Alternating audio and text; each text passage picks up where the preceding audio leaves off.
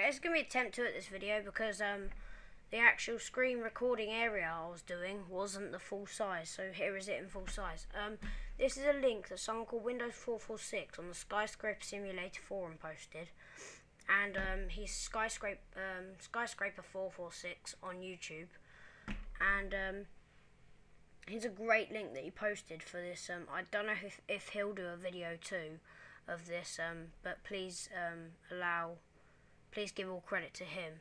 Um, so basically it's just a fire service simulator. It's really, really cool. You can see instructions down here. So first of all, we click on the doors, we go in. So you can see the lifts over there. It says elevators 1 to 15. Go there. Click over to the lifts, yeah. You've got all the numbers there. It's really luxury hotel. You can rotate and see. And you can see this luxury lift over here. They're really nice. They're like Kone Eco discs, I suppose.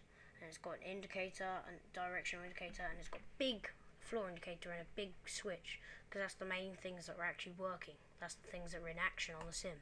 Turn it off, turn it on, and it only lets you click in when it's on. And it's on hold at the moment.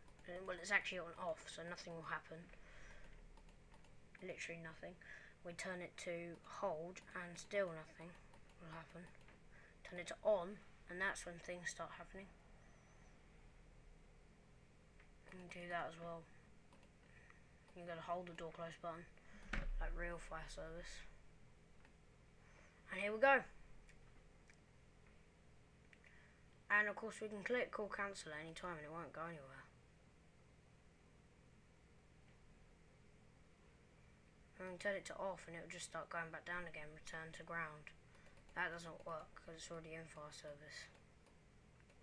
Oh yeah, because that's not actually a place to click because that means it's a fire service key switch. Right, on 23, hold door closed. This time we're going to go all the way up to 23. Actually, we're going to stop at 6. Can't, we have to call cancel to click 6. And you have to make sure the door's open before you can do it. It's like proper fire service, really.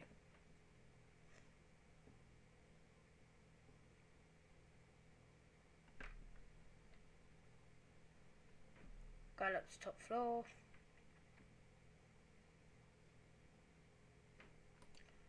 We're just going to stop at 20 because it's easier. At 20 the doors will open when you press the open button and you got to hold it open. And go to basement. I'm going to pause it until we get lower. Okay, here we go. We're almost there. So it's a bit random position. Those doors could have been a bit bigger and they could have... But it's just to make it as good as possible. See, the bees are weird open the door. Go back to L and that's going to be the end of our trip. Fire service is going to go off.